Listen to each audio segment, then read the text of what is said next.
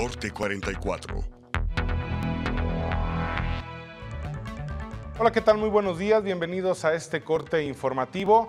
Periodistas y comunicadores de todo el país salieron ayer domingo a las calles a manifestarse por los recientes asesinatos perpetrados este mismo mes en varios estados de la República contra periodistas.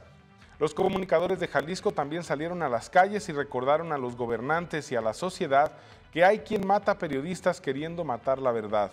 Puntualizaron que en Jalisco las presiones para los comunicadores y periodistas no son tan graves como en Veracruz, Chihuahua o Guerrero.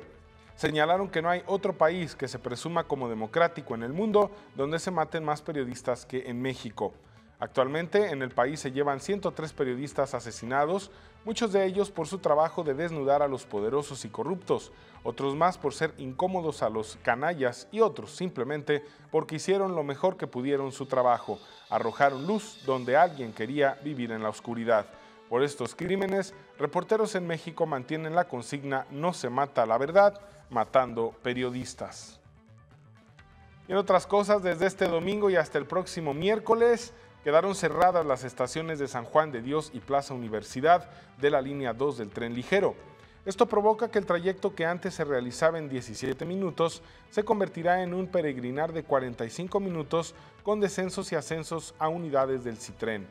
Este cierre se debe a que la tuneladora que perfora el subsuelo tapatío ha llegado a la avenida 16 de septiembre y la avenida Juárez, donde se tendrá que hacer una conexión con la línea 2 y lo que será la línea 3 del tren ligero.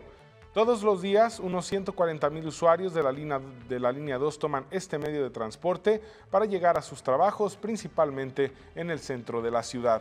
Ahora y por los próximos tres días tendrán que tomar un camión del Citren en la estación de Belisario Domínguez para llegar a su destino.